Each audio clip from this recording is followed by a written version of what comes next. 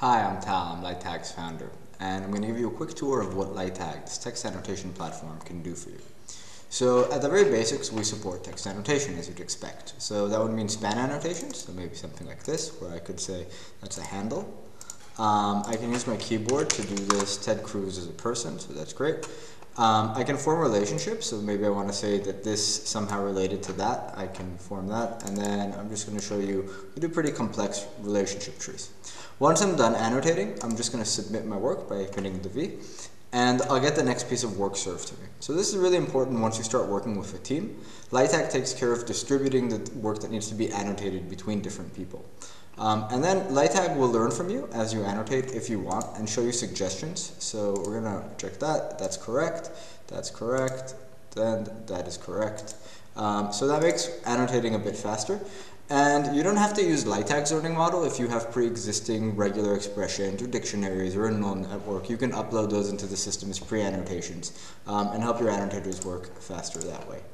Um, so once we've annotated data, the really important thing is ensuring that it's high quality. And provides a pretty convenient review mode for that. So let me show you that really quick. I'm just going to go into review, and I'm going to get a list of all of the data sets and schemas that have been annotated by anyone. Is that a human or a model? And if I go into one of them to actually review, LightTag will show me, well, this annotation has been made, and that looks wrong. So I'm going to reject it over here. And this one is correct, so I'm going to accept it. I'm going to use the keyboard to go a bit faster. Now, this is an interesting case because here we have two annotators or models that disagreed. One said that Cadillac is an org, and one said this whole thing is MISC, and that's actually the correct one. And I'm going to continue annotating, so Miami is a city. Um, that is wrong, that is correct, correct, correct, correct, and you get the idea of how review works. So once we've reviewed, we get two things. We have a golden source of data that we can use to train our models, but LightTag also gives us a suite of analytics to kind of figure out what's happening in our project. So maybe the most basic, even before review, we'll show you inter-annotator agreement, so between your annotators and how often they agree.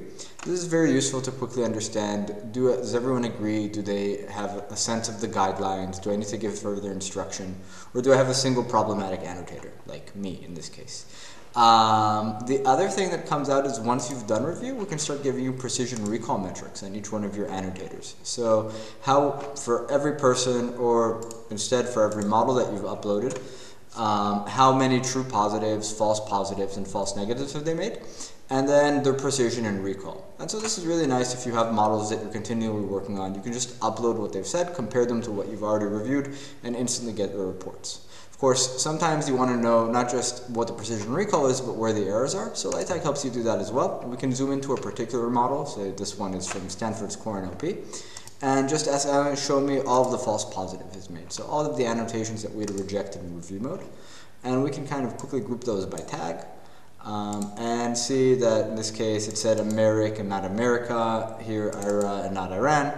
Um, so Stanford looks like that particular model had a tokenization problem and we rejected it. So this is a quick way to quickly find out what's happening inside of our project. Um, of course, once we're done, we can just download the data. It comes out as a JSON. Uh, that's very convenient to load into your models downstream and train them. Um, and then we have a full API that supports active learning uh, and analytics. So that's a very quick tour of LightTag. We have many other features to show you. And go ahead and sign up for a free trial or reach out to us if you have any questions. Cheers!